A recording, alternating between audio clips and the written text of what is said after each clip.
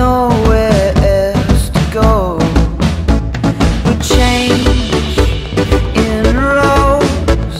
It struck me that. that